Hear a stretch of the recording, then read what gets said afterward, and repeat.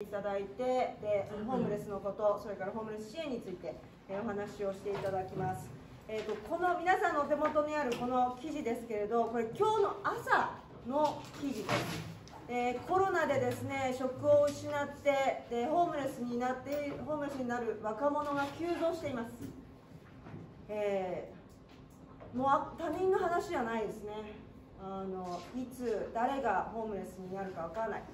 えー、時代です。えー、今日いろいろと勉強したいと思います。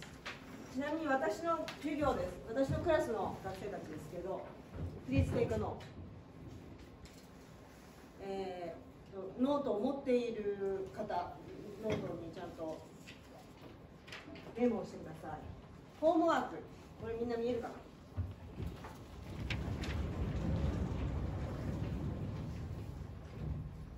来週、えー、今日メモ書きしたこのノート、え、も提出していただきます、えー、そして Please write a report 150から200は in English で内容ですけれども今日何を学んで何を考えたのかそして今日学んだことを将来どのように生かしたいのかということについて英語で150ワードから200ワード書いてください。はい、えー、では早速始めたいと思いますけどいいですかね？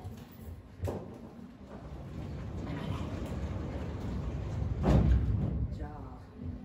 えー、今日お仕事休んできたんですよね？今日お仕事休んで休んできていただきました。ありがとうございます。すみません。じゃあよろしくお願いします。みんな見えるかな？えー、っと、ちょっと左の方。見えるダメ。オッケー。じゃあ、お願いします。はい、えっと、ビッグイシュー札幌の平田と申します。よろしくお願いいたします。えっと、今日は、あの。私は、えっと、ビッグイシュー札幌、まあ、あの、皆さん読んでいただいてると思うんですけど。ホームレスの事実を応援する雑誌、ビッグイシューっていうのを。札幌でのボランティア活動をこれこれ13年ぐらいですかね、えー、やってきまして、まあ、その間私自身もいろんなことを学んできたので少しお話できればと思います。えーと、まずですね、えー、これこれってエンターを押すとああいいですか？はい、はい。えーと、まずあのー問の中にも、えっと、もし皆さんからいただいた質問の中にもあったような気がするんですけど、まあ、あのまずそもそもホームレスというのはどういう人たちなのかっ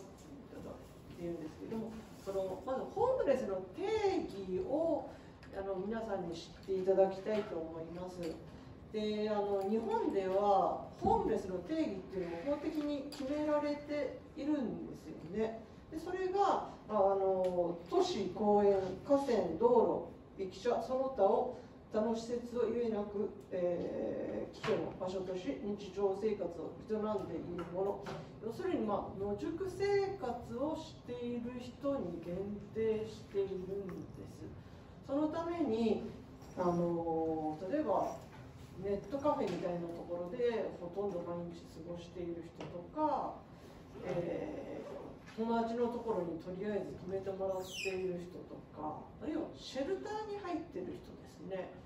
そういう人も本当はもう自宅がないからホームレスなんですがそういう人はカウントされない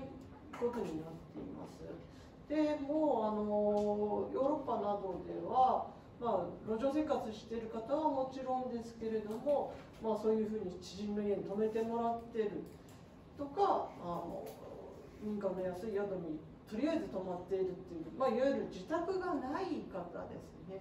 をあのホームレスとしてカウントしています。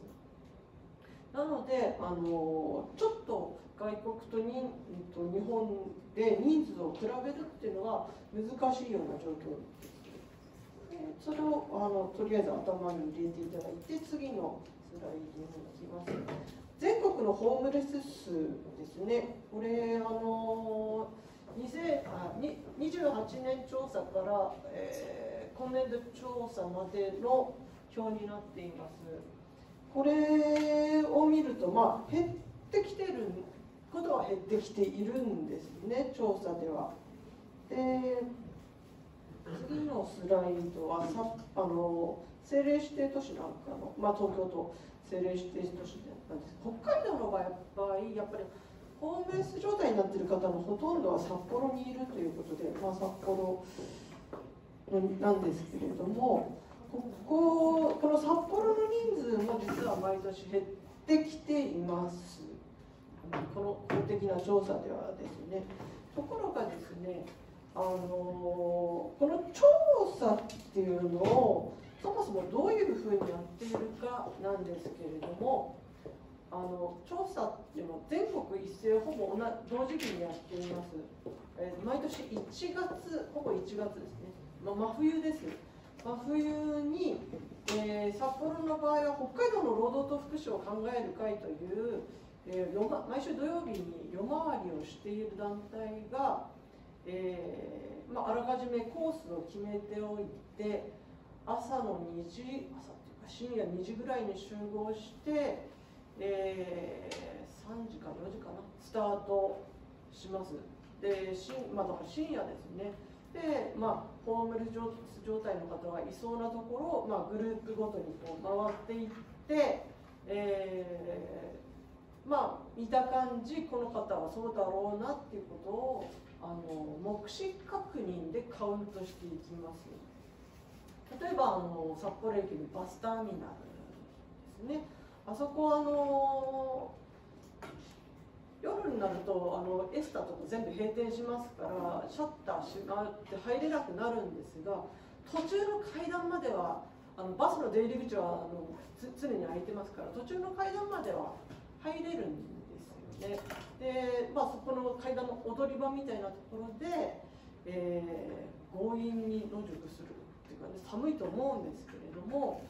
あのでもなければ寒いと思うんですがそういうところに野宿してる方なんかもいるので、まあ、そういうところを回っていてあ1人2人っていうふうにカウントしているんです。あとはまあ24時間営業の店とかたぬき工事なんかもこう回っていってこの方はそうだなってのを1人2人とこうカウントしていった数字がこの札幌市のの数字になっていますこれもまあ一応毎年減ってきてはいるんですが次のスライドにお願いします。まあ、先ほどもお話しした通り真冬なんですよね。真冬にやっぱりひとところにじっとしているっていうのは難しいわけです。であのなのであのこっちのお店からこっちのお店とかこっちのあったかそうなビルとかこう点々と移動しながら夜を明かす人もいるわけです。でそういう方っていうのは調査に行っても出会わないのでカウントから漏れてしまうんですよね。それであの北海道の労働と福祉を考える会は夏に独自の公的な調査は冬の調査なんですが夏に独自の調査を行いました。あのーだからこれは、えーと、今年の1月にやったのがこの2019年度冬季調査で、えー、同じく今年の、えー、夏にやったのがあの一番左側の数字でやっぱり夏にカウントした方が人数多いんですよね要するに移動してない人にでじっとしている方にその分会えるということですね。なので、まあ、夏でも移動しながらあの過ごしている方とかはいるはずなので実際のホームレスの人数ってホームレス状態になっている方の人数っていうのは実際の正確な人数っていうのは分からないっていうのが実情だと思います。またただ、まあ、一応の目安として、まあ、はあの発見できたとか確認できた人数がこのくらいということですね。で、えー、次のスライドに行きます。ホームレス、えっと、皆さんからいただいたあのホーム質問の中に、まあ、どうして、えー、ホームレスになってしまうのかとかあの家族を頼れないのかまあひょ、えー、いろいろな、質問をいただいたんですけれども、まあ、ホームレスになってしまう理由というのも、まあ10、10, 人というとかというかあのそれぞれの方の理由があるのですが、えーと、東京の池袋の手の端という団体が、まあ、あの分かりやすくこうまとめたのはこのホームレスになってしまうのはっていうスライドであの A タイプは自立経験があり要するに何らかの仕事はしていた経験がある方。でもなんあの失業しちゃったりしてその後次の仕事に就けなかったとか家賃が払えなくなってホームレスになっちゃった方。これ A タイプとしていますで、えー、B タイプは自立経験なし。これはあの何らかの障害があったり虐待やいじめなんかを受けていって、えーまあ、働くこともなくで親も頼れずというような状態でそのままあの路上生活になった方。こういう方もあの結構多い。でこの何らかの障害がある方っていうのは実はとても多いんですよね。あの2009年ですからちょっとあの前になってはしましまうんですが同じくこの手の端という団体と医療関係者で路上生活をしている方に面談調査を行いました。の時に、まあ、80人中50人の方に何らかの精神疾患例えばうつ病とか、えー、アルコール依存症とかあるいはあの知的障害のあるような方とかをあのがいるということが分かった。これは2009年に調査して分かったことです。昨日あの NHK の「クローズアップ現代」を見た方いらっしゃいますかね？大人の発達障害の話をあるいはあの知的障害の方の話をしていたんですがどうして自分はこんなにあの生きづらかったんだろう？もう50代の女性でしたけど働いても商品をきちんと並べられないし商品の名前も覚えられなくて結局居づらくなって失業してしまう。仕事辞めて失業してしまう、まあ、そんな感じで職業転々としてとても生きづらい人生を送ってきたんだけどもう50を過ぎてから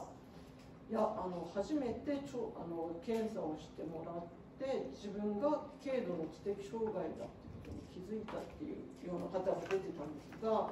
ホームレス状態の方にもそういう方は結構多いですあと知的障害のボーダー状の方も結構いると言われています障害とはっきり認められるとそうではないのが中間ぐらいの方ですねも結構多いと言われています。で B タイプの、えーと、A タイプ B タイプの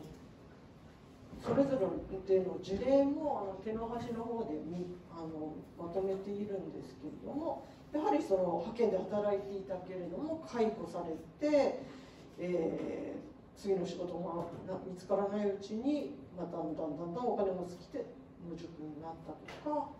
えーまあ、建築現場で働いてたけれども怪我をして働けなくなった。こここれはままなんか札幌のビッグイシュの販売者さんにもこういう方実はいらっしゃるんですよね。建築現場で働いていたんだけれども、まあ、怪我をして、えー、足今でも足が悪いんですがまあそれで普通の仕事が、うんなかなか難しくなったり、まあ、本人も金銭管理が上手にできないっていうような部分もあって結局ホームレスになっちゃったっていうのがありました。まあ、あのただこういう方々っていうのは要するに働いた経験があるので次の仕事も割とやしやすいというかビッグイシューの販売者になってる方はこのこちらのタイプの方が多いです。あの若い頃何らかの仕事をしていた、まあえーと、結構ビッグイシューの販売者全国に高齢化してるんですが札幌も一番若い方でもうんと60かな。あともう70代の方もいますのであのそういう方、まあ、若い頃は働いていた。で、まあ、ホームレスになっちゃったけれどもとりあえず仕事をなんかあるんだったらやろうかなと思ってビッグイシュの販売を始めたっていう方は、まあ、ここのタイプの方が多いです。で B タイプですね次の。こちらは本当に虐待を受けていたとかそれでまあ心を病んでしまった。まああるいはあの子供の頃から、まあ、家の経済状態も苦しく親からも、まあ、早く働けると教育されていた、まあ、あのなかなか家庭状況も厳しいような方。児童養護施設にいるかいる子どもたちも多くはもう虐待の,、まあね、あの両親とも亡くなったとかそういうあの子どももいますが虐待が原因で今あの児童養護施設にいるっていう子どもがすごく多いんですよね。でそういう若者はあの結局児童養護施設出た後も頼れる親がいるわけでなし本当自分の力で生きていかないとならない非常に厳しい状況でであのそれこそ就職した後何らかの理由があって失業してしまったりするとホームレスになりやなるなる可能性がやっぱり頼れるところがない分だけ高いかなと思います。で次のであのホームレスの人は仕事をしないとあのよく言われるのがホームレスの人昼間公園のベンチとかで寝てて怠けてると思ってる方が結構いるんですけれども実はホームレスの方も意外と仕事をしているんですよね。っていうのはやっぱり食べ物とかないと困るのでうんできることはやる一番多いのは東京なんだと廃品回収ですねあの空き缶とかを集めてそれを売って100円とか200円とかになればそれでカップ麺とか買えるのでそういうのを段ボール集めたりとかですね。そういうこ、うんと、何らかあるあるいはまあそういう状態でも日雇いで使ってくれるようなところがあればそこに行った行ったりとかですね。あとビッグイシューもそうです。路上生活状態ででもできる仕事ということで、まあ、それもそうですね。で、まあ、だからあの本当に何にもしてない方ってっていうでそんなに多いわけではないんですよね。であのそれだったら普通に就職すればいいんじゃないかと思う方もいるかもしれないんですけれども自立しようと思ってもまずホームレス状態の方には今就職しようと思ったらまず必要なのは電話番号と住所ですよね。どこかにここ応募したいと思っても向こうからこっちに連絡をする手段がなければ応募ができないわけです。だから電話と住所って絶対必要なんですよ。履歴書も住所なしで出して受付雇ってくれるところなんてないんですよね。であと身分を証明するものはない。大抵のところはあの、まあ、身分証明書。ちょっとしたアルバイトでも身分証明書見せてっていうところがあるしあとですね、まあ、そういうのを持ってない。あとはそのたとえ仮にそのコツコツびっくりするなり日雇いの仕事なりで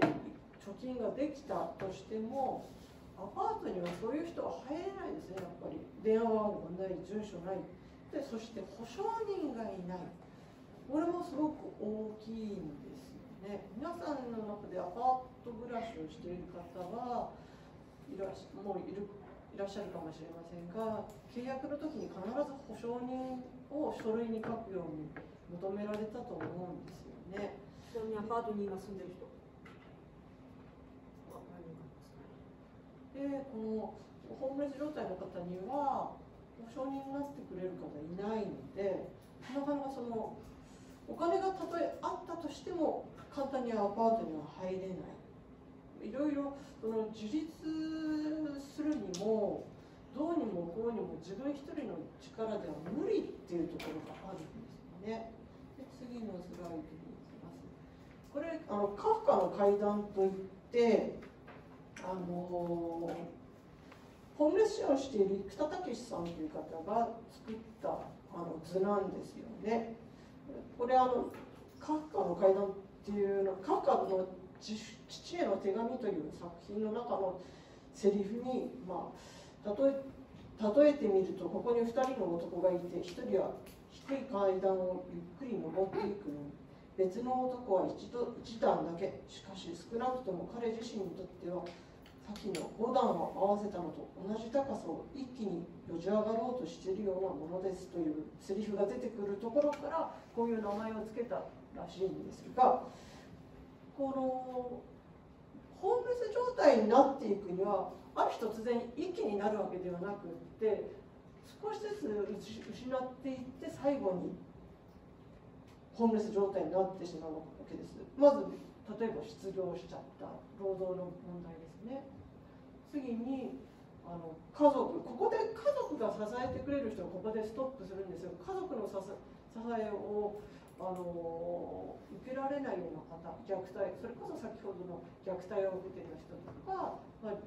離婚とか DV 夫の夫から逃げている方とかですね。そういう方はそこからも落ちてしまいます。でそうすると家賃が払えないとかであと寮付きの仕事ついについてる方なんかはもう失業と同時に住居も失ってしまいます。で住居を失う。でもちょっととりあえず今まで働いてた分のお金があるからネットカフェで過ごしてその間に仕事を探そうかなと思ってるけれども見つからないうちにお金もなくなってしまった。で最後に野宿の状態になってしまうででも元の状態に戻ろうと思ったらその5段の階階段ポンポンポンと落ちていったところ一気に登らないと元の状態に戻に戻れないんですがその一気に戻るって無理なんですよね。あの先ほどもお話ししたように保証人がいないとアパートに入れないとか住所がないとハローワークにもあの登録できない。仕事もさ探せない、まあ、仮にあの就職しても就職できたとしてもその給料ってはあの働いたその日に出るわけではないですからその給料が出るまでのあの生活費がない。だから元の状態には戻るというのが非常に難しいんですよね。なのであの支援団体の力とかまず協力がないと自分一人の力だけでこの階段一気に登って元に戻るっていうのは非常に難しいと思います。ねはい、で次ですねあのまあそんな状あの状況を見てきて思ったのはやっぱりホームレスの問題っていうのはその他のいろんな問題と地続きだってことが分かると思います。家庭の問題家庭家族の問題であったり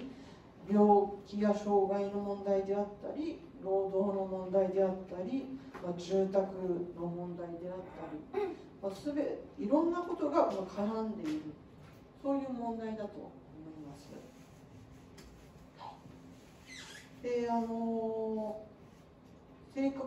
生活困窮層住まいの状況による区分けっていう表なんですけれどもこれあのホームレスもいろいろあってという、まあ、さっきの話とも重なるんですがあのよく東京なんかに行くと公園にブルーシートでテントを作ってそこに住んでる方これがま定住型ホームレスっていうふうに分類されていますこの表では、まあ、そういう方も多いですよね。あとはその移動型あの一ところにいるのがあの難しいので移動しながら生活している方。あとたまにホームレス。お金がある時はネットカフェない時は路上生活っていう方も実は結構多いです。あとはいわゆるネットカフェなんネットカフェとか24時間やってるファストフードの店なんかで、えー、夜明かして、えー、昼になったら駅とかベンチとか寝れるところに行って寝るような方。あとはあの不安定住居脱法ハウスまあ貧困ビジネスでなんかもうベニヤ板で仕切ったようなあの一つの部屋をベニヤ板で仕切ってもう人一人寝れるぐらいのスペースを作って家賃を取って住まそういう人でも入れる入れますよって言ってあのすまそういう会社も東京の方にとあったりします。あとはあの、うんと、貸し倉庫っていうんですか？あのレンタル倉庫。はいあの東京なんかはそのレンタル倉庫の中にとりあえず寝れるように敷物を敷いてそこで要するに東京とてもとても家賃が高いので払えないと。であの自分の収入ある程度あるけれども家賃は払えないのであの貸し倉庫だと結構安いらしいんですよね。でそこに住んじゃってるっていう方もいるこれも不安定住居層に入るかなと思いますだから住居喪失予備軍、まあ、住み込み、えー、実家暮らしあのだけどうん例えば頼れる頼れる両親が亡くなってしまったら住むところがなくなっちゃうとか住居付きの仕事についてる方は失業と同時に住む場所も失うとか、これこういう方結構多いんじゃないかなと思います。はい、であのよくっていうか普通の感覚としてホームレス状態の方って一般の方から見るとなんかちょっと怖いなとか、え、っとビッグイシュのあのボランティアやっててよく言われるのがその販売者の人にどう話しかけていいかわからないとか初めて買う時ドキドキしたっていうのをよく聞きます。でも私もそうだったのですごくわかるんですよね。相手の方はビッグイシュ売ってるからホームレスだっ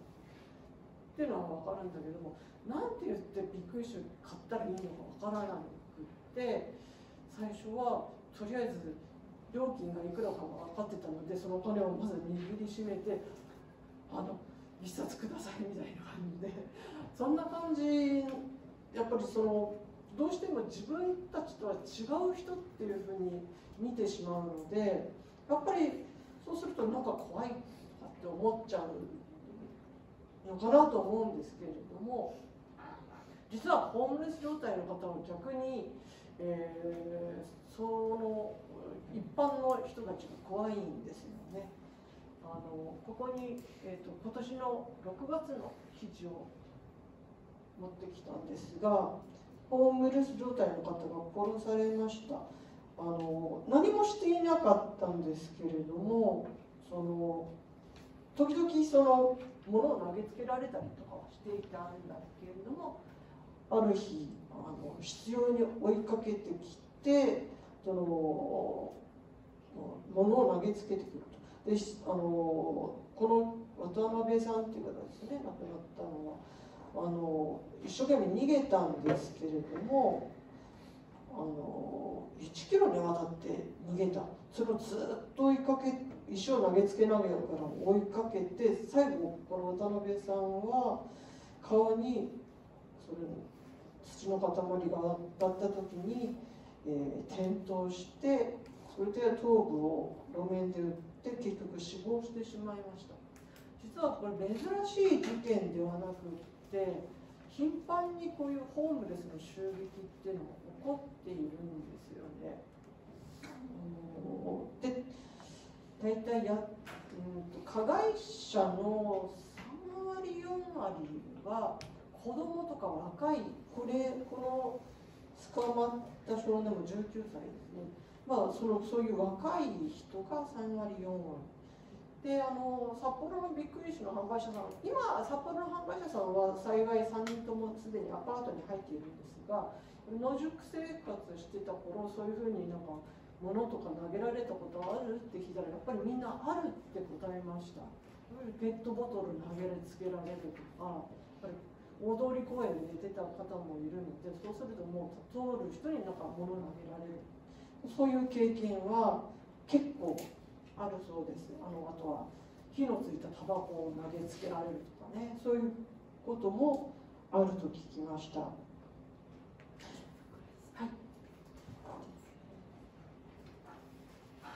でまああの、えっと、こちらの質問の中にもどんなことができるんでしょうかっていうのがあったんですがあのまあさまざまな取り組みはされています。まあ、あのホームレスの支援団体っていうのがとても増えました。あの10年、15年くらい前と比べたら随分増えたと思います。行政もいろんな支援策をあの講じてきたところもあります。あとあとはあの、えーと、法律家による支援、弁護士さんでもあの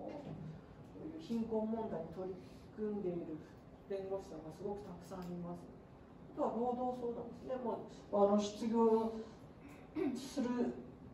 前にとかあの、まあ、例えばパワハラを受けてるってそのまま辞めちゃうんじゃなくてそこでなんとかあの踏みとどまれるように相談を受けたりとか。あとは女性ですね。あの DV とか。セクハラストーカーなんかのあの相談を受けたりシェルター運営をしている団体も結構あります。まあ、医療関係者の支援居場所の支援子どもへの支援など、まあ、いろんな支援活動はあのされていますあとですね生活保護は最後のセーフティーネットあのもう本当にいよいよとなったらやっぱり生活保護しかないんと言っていいぐらいですね。健康で文化的な最低限度の生活がもう憲法に保障されています。収入が生活保護基準より少ない資産を活用しても生活ができない。働けない働く場がない年金や手手当など他の制度を使っても生活保護基準に満たないという方なら誰でも申請できるのが生活保護です。あのホームレス状態からそさっきのカップの階段じゃないですけど一気に元の状態に戻るっていうのは非常に困難ですのであの私だったらまずもしホーム今ホームレス状態のことから相談を受けたらまずあの生活保護を受けてアパートに入ってそこで一旦一旦体制整えてから仕事を探せしませんかっていうふうに進めます。ビッグイシューもいいんですけどビッグイシューを売る仕事だけで貯金をしようと思ったらとてもとてもあの時間がかかってしまうのであの何らかの事情でどうしても生活保護を受けたくないとかっていう方はしょうがないんですけどそうでないのであればやっぱり、うん、まずまず必要なのは農塾状態なのであればまず必要なのは住居だと思うので私だったら生活保護を受けてアパートに入ることを勧めます。なんで生活保護を受けないっていうか申請しない人とか、はい、あの今札幌にいる、陸上の販売者さんたちも最初は絶対生活保護なんか受けないって言ってました。あの一つは過去に生活保護を受けたことがあるんだけれどもうまくいかなかったとか嫌な思いをしたっていう方もいます。あとはその家族がまだいる方なんかは家族に扶養紹介が行ってしまうのがとても嫌だ。と私はこれ本当なくすべきだと思うんですけれども親兄弟に、えー、誰々さんあなたの家族の誰々さんが、えー、生活保護の申請をしていますけれどもあなたは面倒を見られないんですかっていう手紙を送るんですねそうするとしばらく縁を切っていたような家族にいても、自分が生活保護を申請したっていうことが知られてしまうそれがとても嫌だっていう方もすごく多いです。であのあとは世間の偏見ですね。とてもあの日本は生活保護に対するイメージが悪いなどうしてなのか知らないけれどもなんかこう悪いイメージがあってなんか生活保護を受けるのは悪いことのように思ってるような人もいるのでそうするととってもあの申請しにくいとかでなんか嫌だな申請したくないなって思っちゃう人も出るんですね。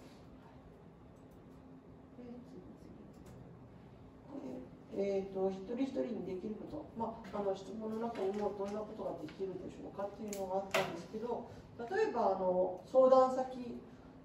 生活に困ってる人もうちょっと暮らし家賃も払えなくなっちゃってるような人あるいはもうすでに路上生活になっちゃう路上生活というか住居を失っているような方に、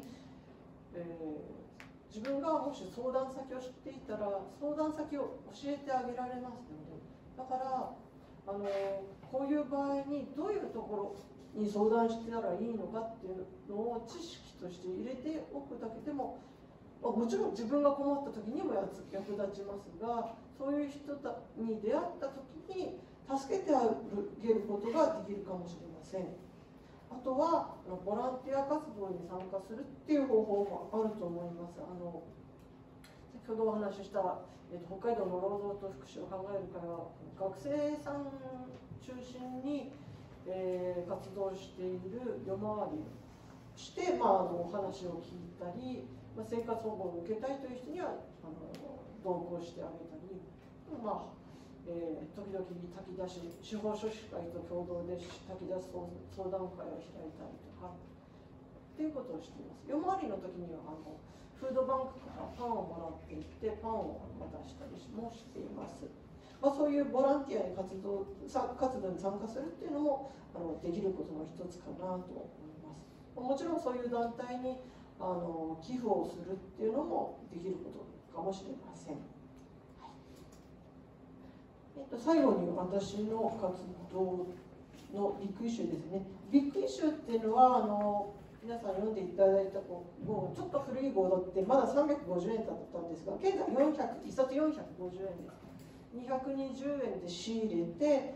売るので、えっと、1冊売ると230円が販売者さんの収入になりますで初めて販売者さんになる方にはついては10冊無料で差し上げています。それを元でまた仕入れてという感じですね。でもともとはイギリスが発祥の地で、えー、1991年にイギリスで始まったものです。日本では2003年の9月から札幌では2007年の9月からビッグイシューの販売が行われています。でビッグイシューのいいいいところなんですけれどもえーと、もうホームレス状態になるっていうことは人とのつながりが切れてしまうっていうことなんですね。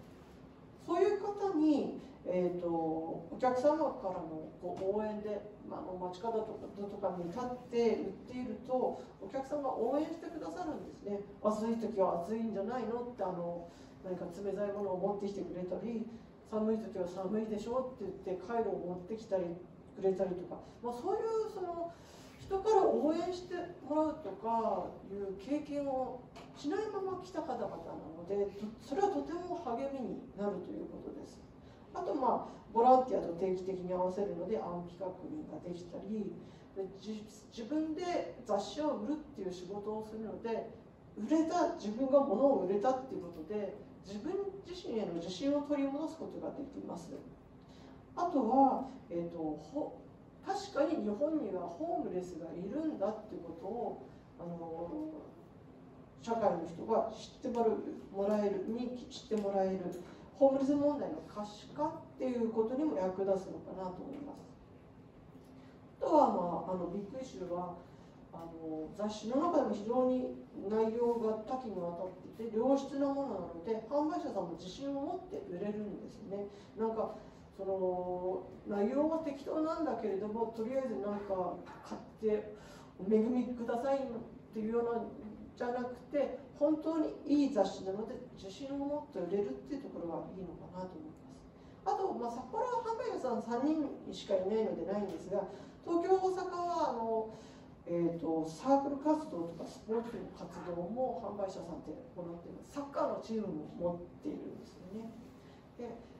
次ですね。札幌市内の取り組み。えーと、札幌もいろんな問題あの支援活動が行わ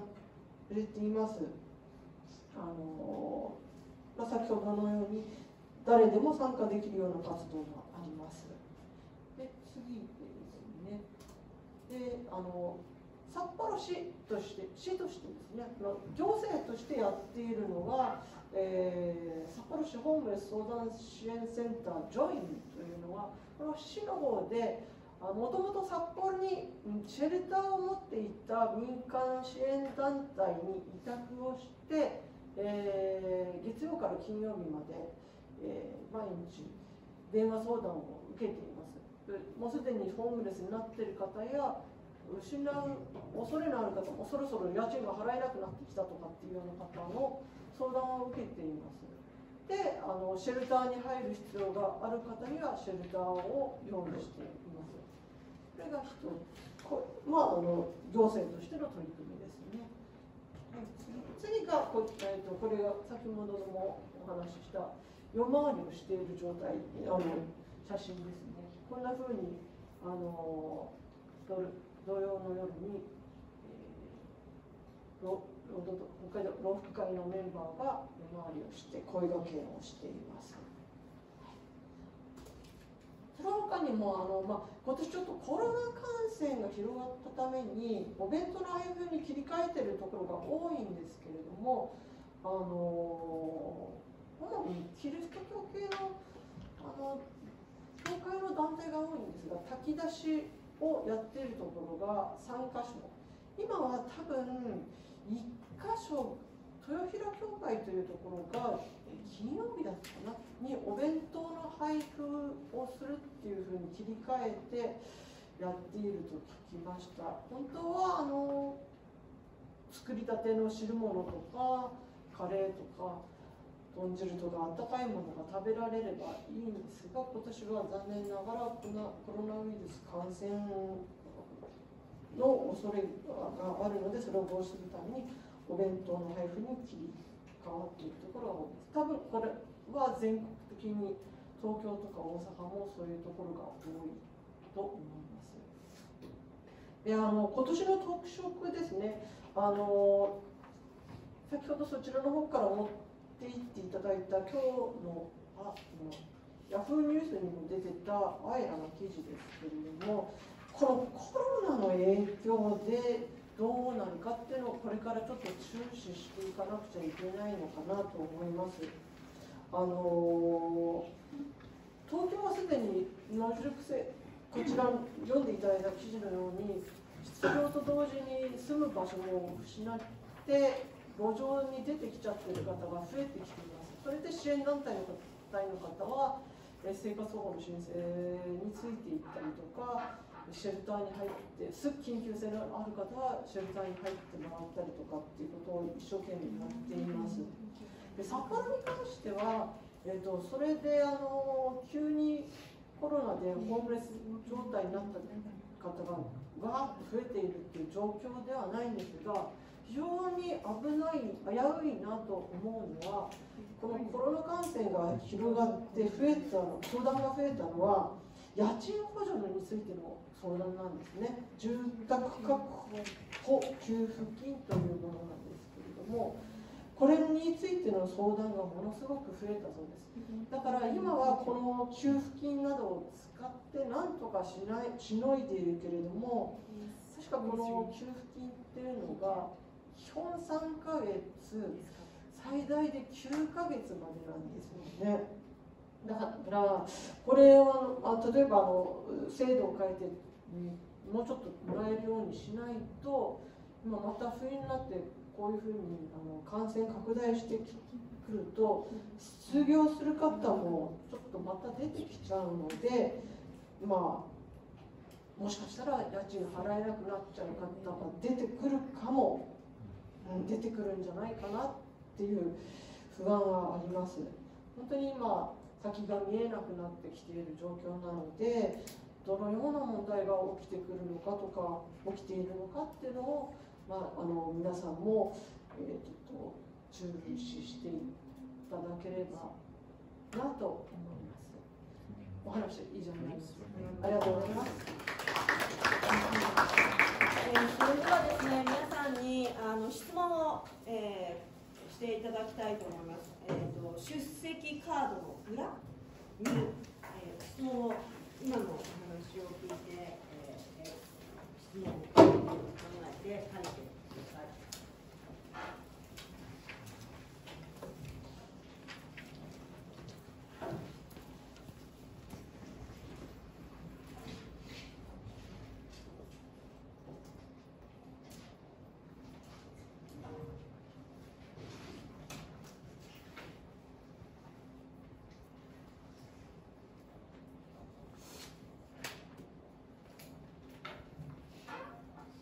書き終わった、え、方の質問からもどんどん、え、答えていっていただこうと思います。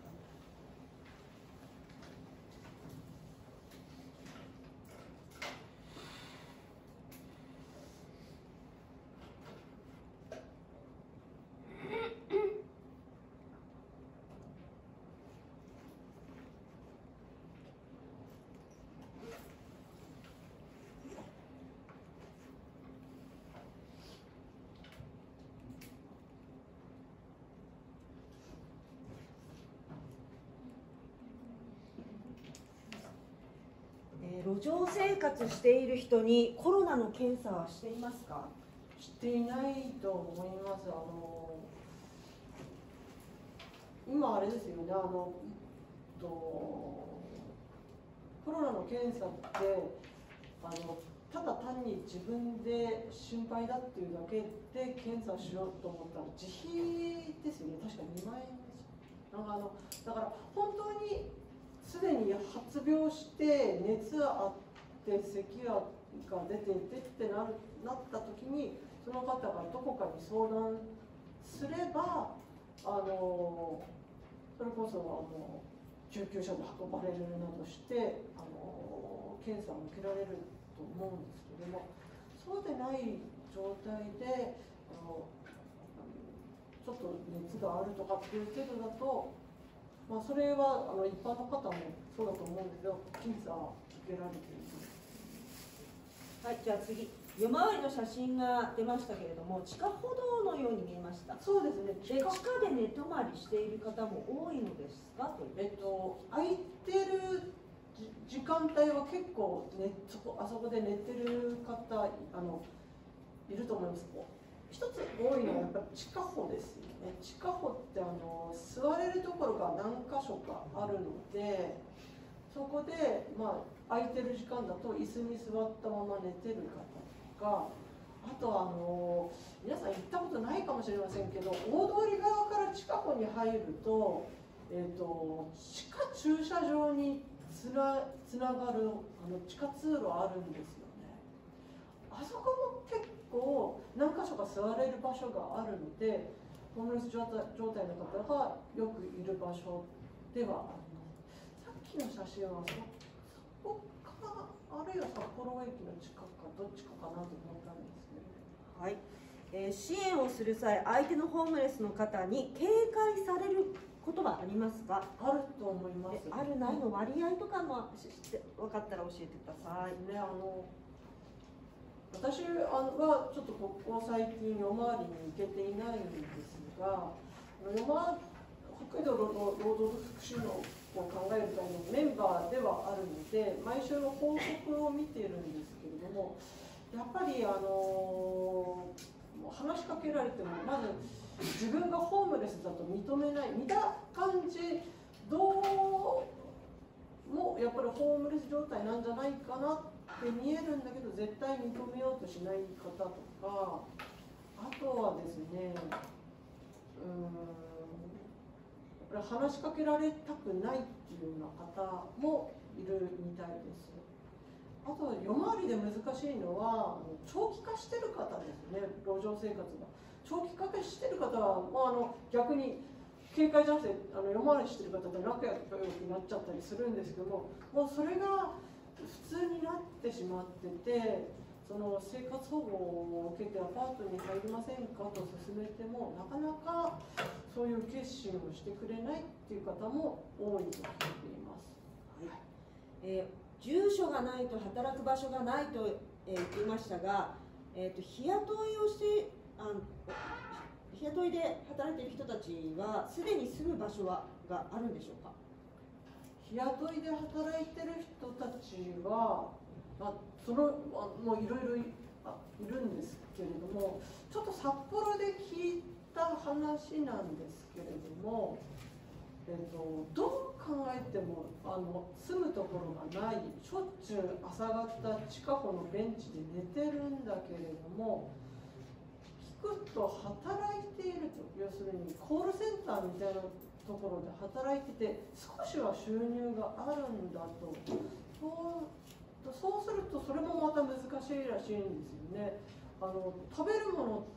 のはなんとかなる。ある程度必要最低限の買い物はできる。でもアパートには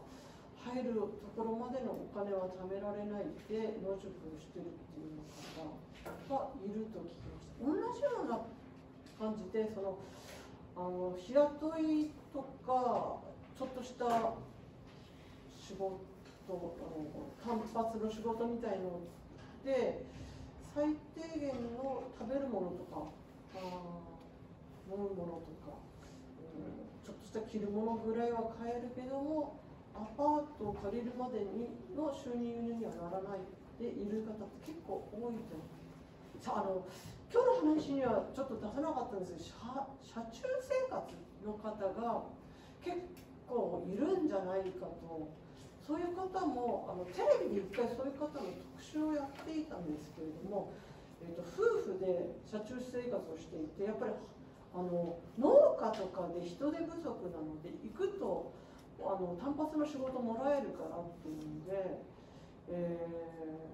ー、そう車でもあの住むところはないんですね。車で生活どうも札幌にもポツポツ車中生活の人がいるんじゃないで多分それってガソリン代があるっていうことなのでもしかしたらそういう単発の仕事をしながらあの暮らしてるんじゃないかなと思われます。はい。えっ、ー、と大通駅などで、えーと、ホームレスの人をよく見ますがほとんど同じよう同じ人のように思います、はい、でその方たちはホームレスをやめたいっていうふうには思っていないんでしょうかね。そそれがまさに長期化さっきお話した長期化している方なんですよね。夜回りの時にそういう方いわゆるまあ常連さんっていうんですかね。あの毎回毎回会う方っていうのがいて毎回声がけはしているんだけれどももうなんかそのそれでいいやって思っちゃってるでビッグイシューの札幌の販売者さんの中にも一人10年弱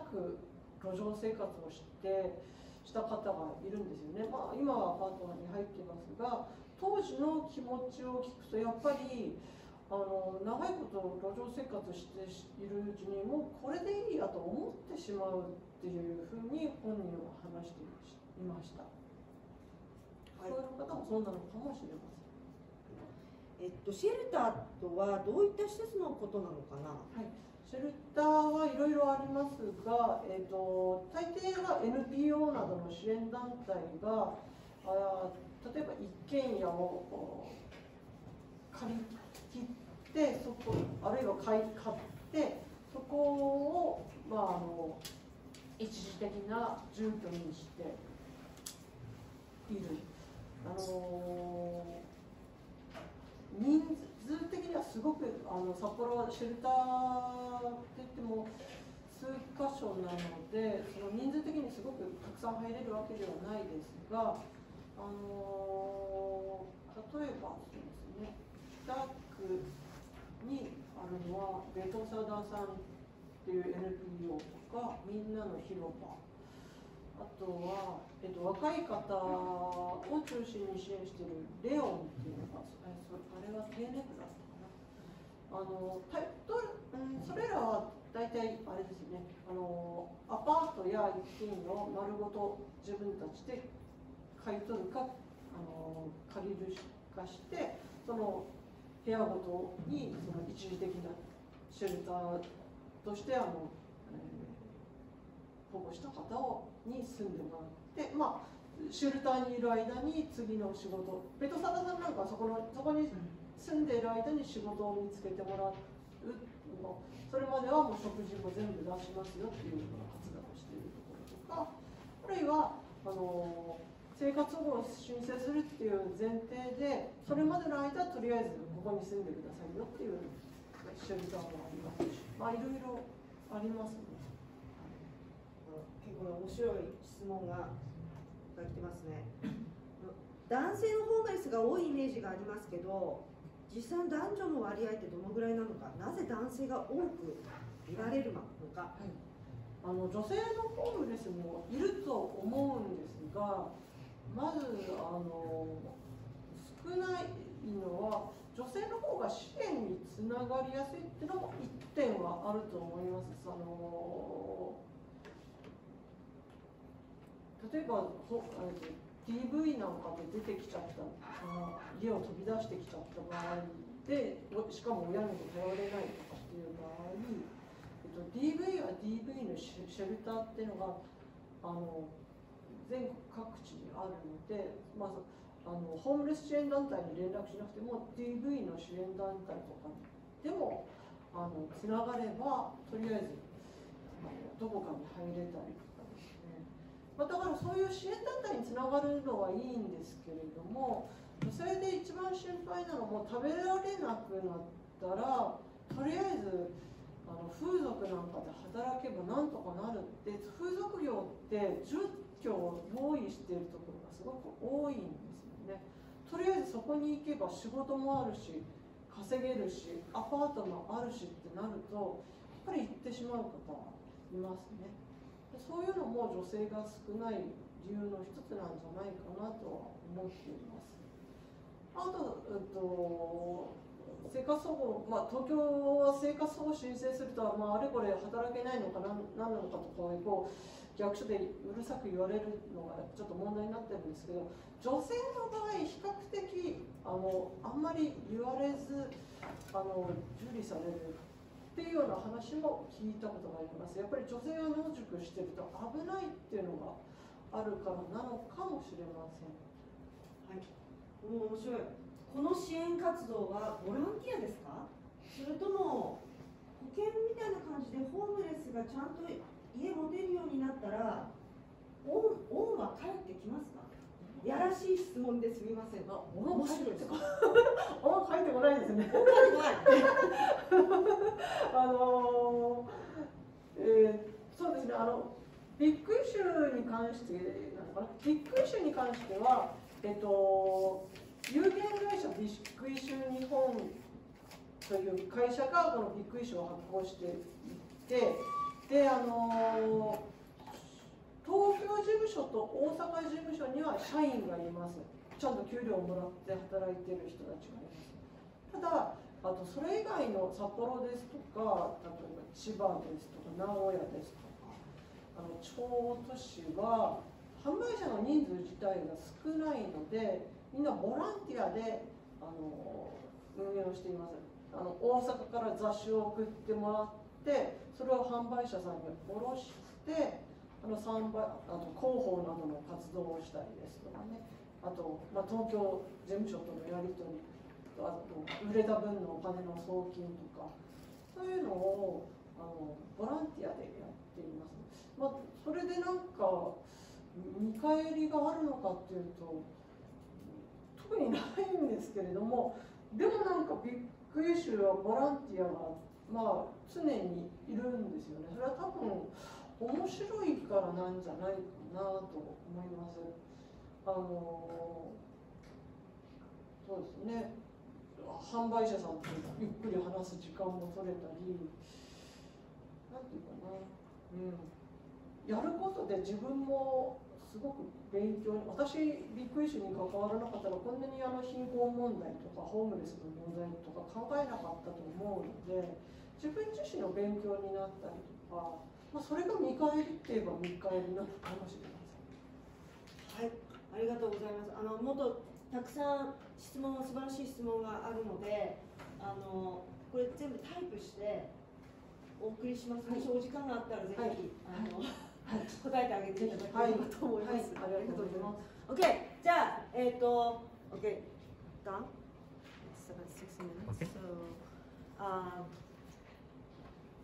ではあの再度ホームワークについて皆さんにお伝えしますね。